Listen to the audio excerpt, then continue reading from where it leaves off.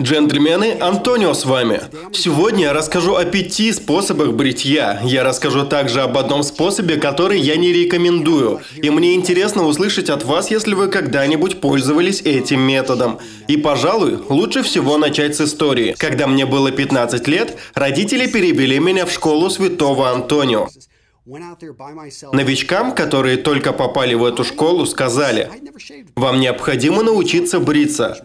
До этого я, естественно, никогда не брился. В один день я прогулялся до местной аптеки, где я купил первую в своей жизни бритву. Помню этот момент как сейчас.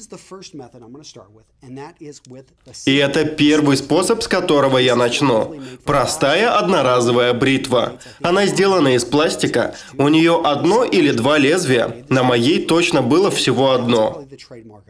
Но вот на этой два. Они супер дешевые. Не думаю, что лезвия на них высокого качества, но зато можно сразу купить пачку из 10 станков.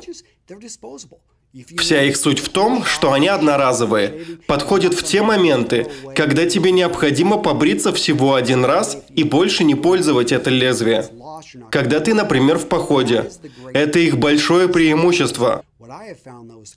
Первое время своей жизни это единственные бритвы, которые я использовал. Да, это был интересный опыт. Я часто резался лезвием и очень жалею, что в мое время не было такого интернет-журнала, как Sharpologist. Это отличный источник информации. Мой друг Марк – его основатель. Я бы хотел знать о его сайте, когда был помоложе, но в любом случае, это то, с чего я начал. До тех пор, пока я не захотел чего-то более серьезного. Это было уже во времена колледжа или после колледжа. Я тогда точно понял, что хочу что-то посерьезней. И это способ номер два – электрическая бритва. Эти бритвы существуют уже порядком давно, и они постоянно развиваются. У меня в руках бритва Philips Norelco. Я ей пользовался, отличная бритва. Что мне нравится в ней? Когда я был моряком, я часто погружался с головой в свои обязанности, и потом понимал, что я забыл побриться. У меня была электробритва в шкафчике, я хватал ее, брился, это занимало буквально пару минут, как раз прямо перед построением. Или когда я был в летном училище, когда ты в форме, последнее, о чем ты думаешь, это о щетине. В эти моменты электробритва очень сильно выручала. Вот это их большое преимущество. Они очень удобны. Да, возможно, они не справляются с бритьем так же хорошо, как бритвенные станки, но они делают свою работу. Это точно. Перед тем, как снять новое видео, я часто бреюсь именно такой бритвой. Давайте перейдем к третьему способу. Это бритва с картриджами. Думаю, большинство из вас используют именно такую бритву. Это произведена компанией Gillette Mac 3. Есть и другие, но я ими не пользовался. Эта бритва от компании Pace также известна как Дорка. Очень мягкие. У этой аж 6 лезвий. Что я люблю в этих бритвах, так это простота. Можно бриться по щетине, против щетины, не имеет значения. Она отлично бреет. Тебе даже не надо думать ни о чем. Единственная их проблема – это стоимость. Чем больше они ставят лезвий на нее, тем они становятся дороже. Я тут посчитал и понял, что я плачу где-то 1 доллар за то, чтобы побриться один раз. Если ты бреешься каждый день, это значит 365 баксов в год, которые ты тратишь на эти картриджи. Их можно потерять. Тогда нужно идти покупать еще. Но ими все пользуются. Так что ладно. И перейдем к способу номер четыре. Это как брились наши отцы, и их отцы, и их отцы, а именно использовали безопасную бритву. Такую бритву сейчас уже не так просто найти. Ее можно заказать разве что онлайн. У меня в руках немецкий Эдвин Джаггер.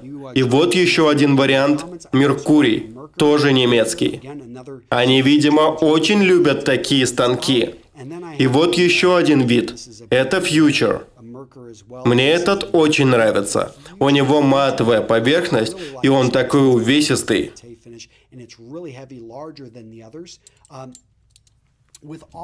К этим бритвам идут различные виды лезвий. У меня тут есть Меркурий Супер и перья. Еще есть Астра. Каждый сам, конечно, выбирает, какое лезвие ему подходит. Правда, эти бритвы не так просты в использовании. И почему кто-то откажется от простой бритвы с картриджем в пользу такой безопасной, я отвечу на вопрос.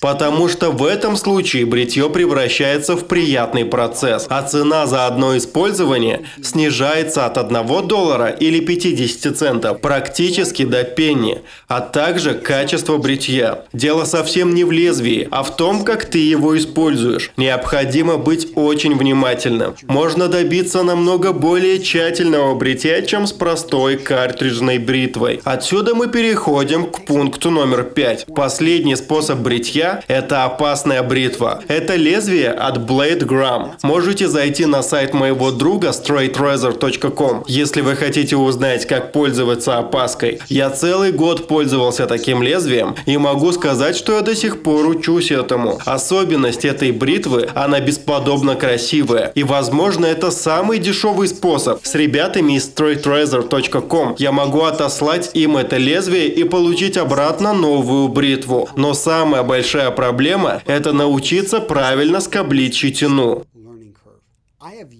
Я до сих пор, если честно, иногда режусь на шее, когда бреюсь опасным лезвием. Это, наверное, самый лучший способ проснуться с утра. Когда ты бреешься таким лезвием, ты должен быть очень аккуратным и внимательным. Это, возможно, самый долгий путь бритья. И да, этому способу нужно долго учиться. Но как бы то ни было, очень круто. И чувствуешь некоторую связь с историей.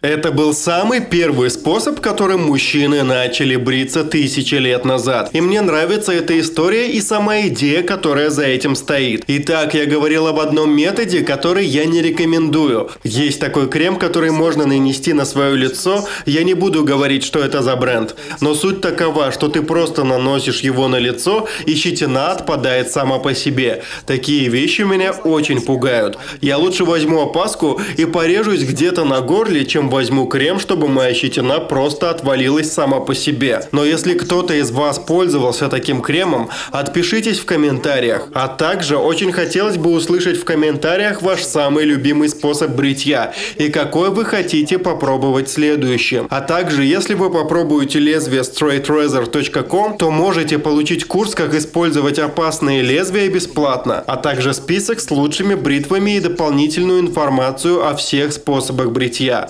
Спасибо, берегите себя, ребята. Увидимся в следующем видео.